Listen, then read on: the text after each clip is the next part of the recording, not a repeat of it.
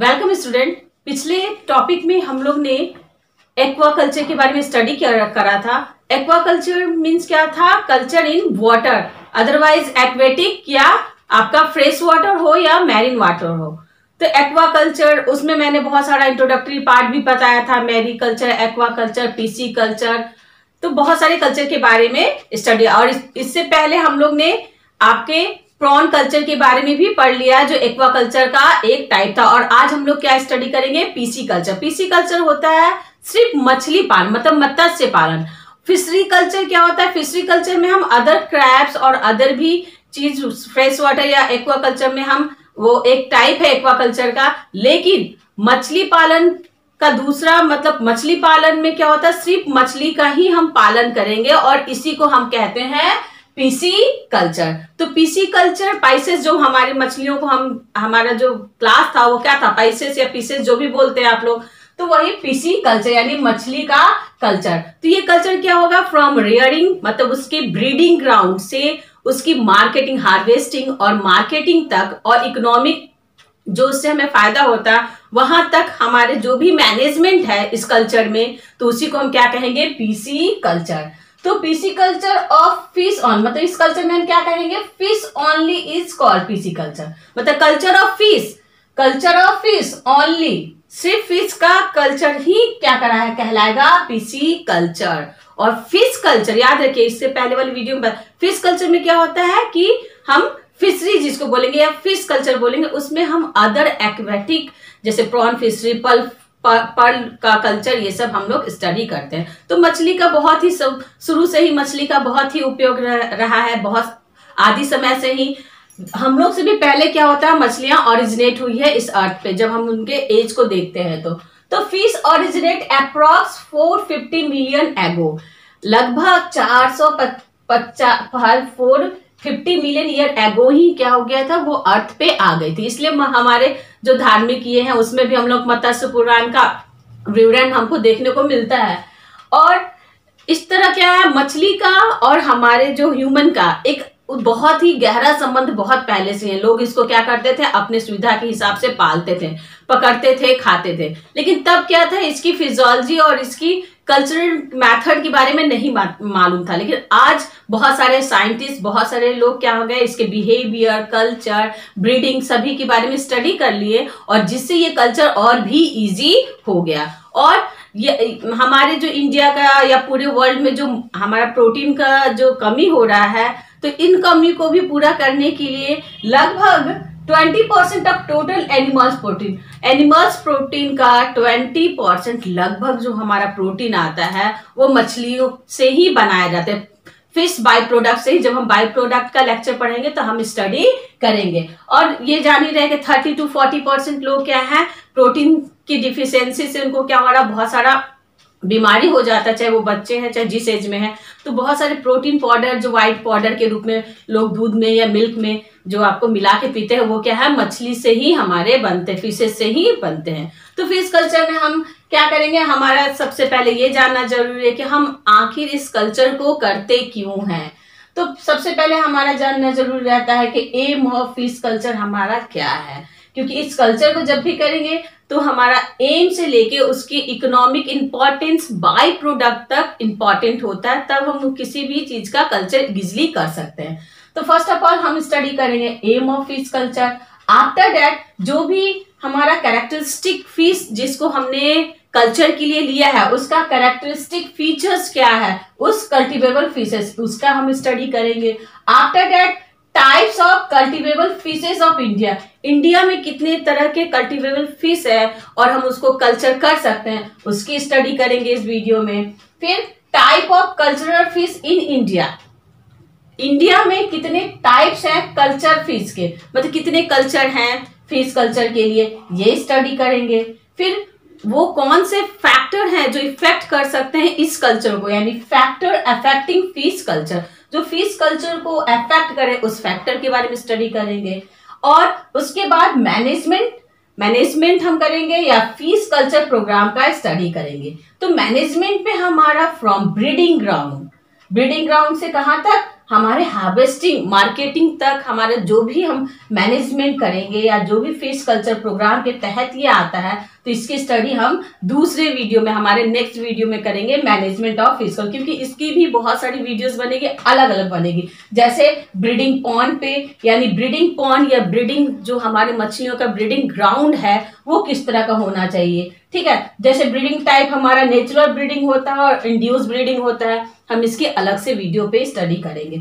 फिर breeding point के बाद फ़िश सीड का कलेक्शन हम कहाँ से करें? क्योंकि मैनेजमेंट जब हम करते हैं या फ़िश कल्चर प्रोग्राम करते हैं तो उसके लिए एक हमारा प्रोग्राम होता है। तो ब्रीडिंग पॉन्ड फ़िश सीड का कलेक्शन कैसे करेंगे? आफ्टर फ़िश सीड का कलेक्शन के बाद ब्रीडिंग के बाद हैचरीज हम कैसे तैयार करेंगे? मतलब हैचिंग पीट पीट मतलब गड्ढा। हैचिंग मीन्स जहाँ पे हम, वहाँ पे हैचिंग होना है उस फर्टिलाइज एग का। आफ्टर दैट उसका हम ट्रांसपोर्ट करते हैं फ़िश फ्राई हैचिंग के बाद जो फ़िश फ्राई इमर्ज हुआ है वो कैसे ट्रांसपोर्ट कर रहे हैं हम उसको नर्सरी पॉन्ड से नर्सरी पॉन्ड से मतलब नर्सरी पॉन्ड से हम कहा करेंगे? रियरिंग पॉन्ड जहाँ पे हम उसका लालन पालन पोषण करेंगे तो वहाँ पे कौन सा कंट्रोल कौन सा मेजर्स को ध्यान देना है इसका स्टडी करेंगे? स्टॉकिंग पॉन्ड का स्टडी करेंगे हार्वेस्टिंग करेंगे और मार्केटिंग ये सारे वीडियोस अलग अलग क्योंकि इसमें बहुत सारे वीडियोस बनेंगे तो सारे वीडियोस का हम अलग अलग स्टडी करेंगे। तो सबसे पहले हमारा फ़िश कल्चर का सबसे इंपॉर्टेंट क्या है कि एम ऑफ़ फ़िश कल्चर है क्या? तो एम ऑफ़ फ़िश कल्चर हमारा सबसे इंपॉर्टेंट क्या है कि इस फ़िश कल्चर का एम हमारा क्या होना चाहिए? किसी भी चीज़ का, किसी भी कल्चर का यही सबसे इंपॉर्टेंट तो यही एम होता है। कि प्रोडक्शन हमको ज़्यादा से ज़्यादा मिले। तो यहाँ हम मछली पालन या पीसी कल्चर के बारे में स्टडी कर रहे हैं। तो मेन एम क्या हो गया? यानी main aim to obtain maximum field of fish field की हमें मछलियों की मैक्सिमम फ़ील्ड मिलनी चाहिए। यानी ज़्यादा से ज़्यादा हमारा कल्चर होना चाहिए। टू ऑप्टेन पैलेटेबल पैलेटेबल मतलब खाने योग्य। जो पाचन योग्य हो palatable and highly nutritive nutritive food के रूप में है, इसलिए इसका हम कल्चर कर सकते हैं। To obtain by product fish ऐसी है फ़िश ऐसा है कि इसका बाय प्रोडक्ट बहुत सारा है, क्योंकि इस पे भी एक बहुत अच्छा लेक्चर बनेगा बाय प्रोडक्ट पे भी, कि इसके कितने कितने बाय प्रोडक्ट हैं। तो इससे मछलियों का पालन लालन से हमारे क्या हो रहा है, बहुत सारे बाय प्रोडक्ट भी मिलते हैं फिशिंग इंडस्ट्री के लिए।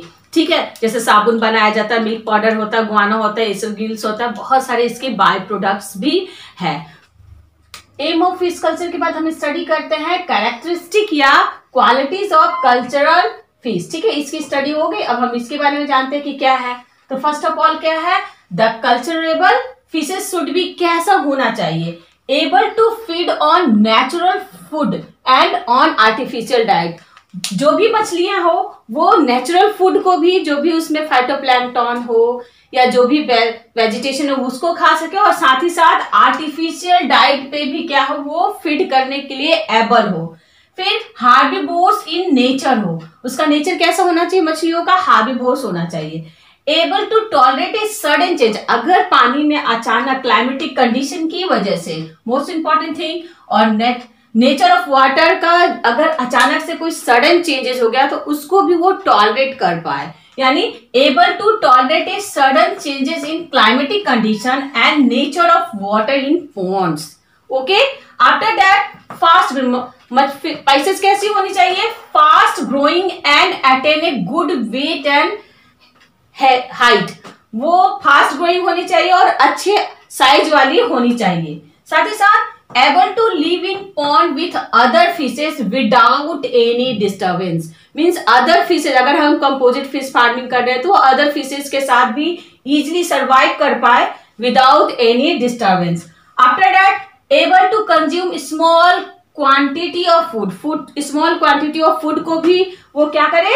आपका इजिली क्या करे? कंज्यूम कर सके. Able to resist against disease after that a prolific breeders and palatable and nutritive in nature मतलब वो क्या होना चाहिए? मछली का क्वालिटी क्या होना चाहिए? कि वो पैलेटेबल हो और न्यूट्रिटिव हो। तो उसके बाद हम क्या देखेंगे? Type of cultural fish in India जिसका हम कल्चर करते हैं। तो मेनली क्या होता है? These are the three main types है, जिसका हम क्या करते हैं? इंडिया में कल्चर करते हैं। दीज आर ये हमारे क्या क्या है? इंडेजिनस ठीक है? Fresh water fishes like carp major carp जो हमारे इंडिजिनस इंडिजिनस मीन्स होता है नेटिव नेटिव मीन्स आप नॉर्मली क्या कह सकते हैं? जैसे हम लोग कहते हैं कि देसी प्रजाति है, स्वदेशी प्रजाति अलग अलग दो भाषा यूज़ करते हैं तो दो देसी प्रजाति, यानी इंडिजिनस या आप क्या कह सकते हैं? नेटिव मतलब आप जो हमारा देसी प्रजाति है तो उन प्रजातियों में हम मेनली किसका किसका किस किस स्पीसीज का या किस किस का करते हैं? इट इंक्लूडेड यानी दिस इंक्लूडेड क्या? कतला कतला, जो आप कतला मछली बोलते हैं। Cirrhinus mrigala Cirrhinus reba, Labeo rohita, Labeo gonius, ये मोस्टली क्या है? Indigenous fresh water fish like carp after that कुछ सॉल्ट वाटर फिशेज जो हमारे फ्रेश वाटर में भी जीवित रह सकते हैं। ऐसे की स्पीसीज की भी हम क्या करते हैं? कल्चर करते हैं, जिसमें आपके आते हैं mullet and chanos after that exotic fish exotic means क्या होता है? यानी नॉर्मल भाषा में अगर हम हिंदी में बोले एक्जॉटिक मीन्स हुआ कि विदेशी प्रजाति बोलते हैं। यानी जो अदर कंट्री से हमारे कंट्री में इम्पोर्ट करके कल्चर जिस फिशेज का करते हैं, उसी को हम क्या कहते हैं? एक्जॉटिक फिशेज तो exotic fishes introduced from other countries like जो भी अदर कंट्री से हम ला, लाएँगे और ऐसे फ़िश का अगर कल्चर करते हैं तो ऐसे स्पीसीज को या ऐसे फिशेज को हम क्या कहते हैं? एक्सोटिक फिशेज इसमें हम क्या क्या कल्चर कर सकते हैं?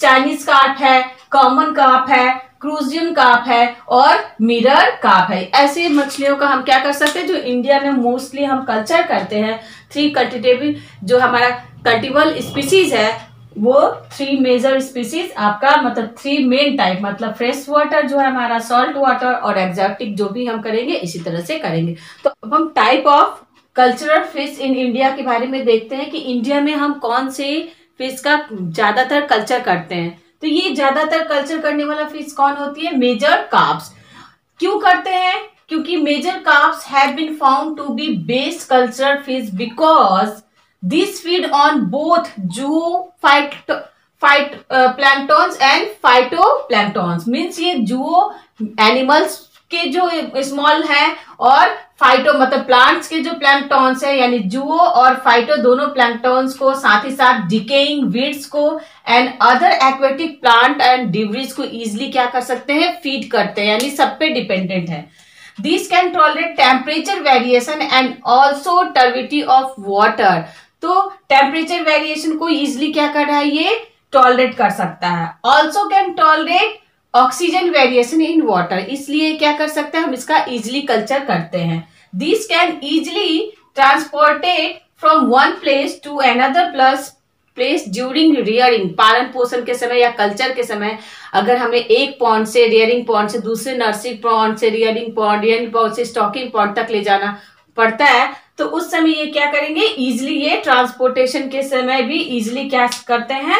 हम इसको इजिली ट्रांसपोर्ट कर सकते हैं। साथ ही साथ these are palatable and nutritive ये आप शुरू से जान ही रहे हैं कि ये बहुत ही जल्दी पैलेटेबल मतलब पाचन योग है और न्यूट्रिटिव है और these are fast growing fish है। इसलिए हम क्या करते हैं? मेजर काप्स का कल्चर इजिली करते हैं। अब हम फैक्टर इफ़ेक्ट फ़िश कल्चर के बारे में स्टडी करते हैं। बहुत सारे ऐसे एक्सटर्नल फैक्टर हैं जो पीसी कल्चर को अफेक्ट करते हैं। तो now day प्रोटीबल fish culture has become purely technique and scientific because a number of environmental factor affect them pisciculture तो बहुत सारे फैक्टर है। ये फैक्टर हमारे क्या हो सकते हैं? टेम्परेचर यानी टेम्परेचर अप एंड डाउन की वजह से क्या होता है? फ़िश के जो कल्चर है, उसमें हो सकता है उनके स्पॉनिंग में कोई चेंजेस आ जाए या कोई भी रीजन हो जाए जिससे क्या हो गया पीसी कल्चर पे असर पड़ सकता है। लाइट लाइट इंटेंसिटी का भी पीसी कल्चर पे क्या होता है? बहुत सारा इफ़ेक्ट पड़ता है। रेनी सीज़न या रेन बारिश के पानी से स्पॉनिंग बढ़ जाती है। तो आफ्टर दैट वाटर वाटर का क्वालिटी क्या है? फिर फ्लड ठीक है, जब बाढ़ आ जाती है वाटर करंट का कैसा है? क्योंकि बहुत ऐसे मछलियाँ होती हैं जो वाटर करंट तेज वाटर करंट में ही क्या करती है? स्पॉनिंग करती है रनिंग वाटर में या स्टर्निंग वाटर में नहीं करती है। फिर टर्बिडिटी ऑफ़ वाटर पे भी डिपेंड करता है पीसी कल्चर बहुत सारी डिज़ीज़ हैं जो क्या कर सकते हैं? अफेक्ट कर सकते हैं। ये फंगल हो सकते हैं प्रोटोजोन हो सकते हैं वायरल हो सकते हैं बैक्टीरियल हो सकते हैं, जो क्या करते हैं? इस पे अलग से एक वीडियो बनेगा। आ, हम आगे नेक्स्ट जब भी होगा तो इस पर अलग से वीडियो बनाएँगे तो उसमें ये सारे क्लियर करेंगे। फिर बहुत सारे एक्सेस टॉक्सिक पोल्यूटेंट है जो वाटर में है और ये क्या करते हैं? इफ़ेक्ट मरकरी है हैवी मेटल्स जो भी है वाटर में डिस्चार्ज किया जाता है तो उनसे भी फ़िश कल्चर पे क्या करता है? इफ़ेक्ट पड़ सकता है। वो पीएच अगर पीएच ज़्यादा है या कम है क्योंकि एक लिमिट में ही क्या होता है? पीसी कल्चर अच्छे से हो पाता है। हार्डनेस वाटर का हार्डनेस और सैलिनिटी पे भी डिपेंड करता है इसका फिजिकल्चर और dissolve oxygen must important dissolve oxygen भी क्या होता है? पिसिकल्चर को अफेक्ट करता है। तो इस तरह बहुत सारे ऐसे एक्सटर्नल फैक्टर हैं जो पिसिकल्चर पे पिसिकल्चर को अफेक्ट कर सकते हैं। तो नेक्स्ट वीडियो में अब हम क्या पढ़ेंगे? मैनेजमेंट और फ़िश कल्चर प्रोग्राम कि हम कैसे करते हैं। From the breeding to marketing हम उसको कैसे एक प्रोग्राम या कैसे एक मैनेजमेंट करके उसके पूरे पीसी कल्चर के बारे में पढ़ेंगे जहाँ पे वहाँ पे ब्रीडिंग पॉइंट से लेके fish seed hatchery pits hatchery pits का ट्रांसपोर्ट कहाँ तक? हार्वेस्टिंग तक हम स्टडी करेंगे। तो अगर आपको कोई भी चीज़ पूछना हो कोई भी दिक्कत हो तो आप कमेंट्स बॉक्स में पूछ सकते हैं और नेक्स्ट वीडियो तक हम नेक्स्ट वीडियो में फिर मिलते हैं अप, अपने इस अगले टॉपिक के साथ। Okay thank you Press the bell icon on the YouTube app. And never miss another update.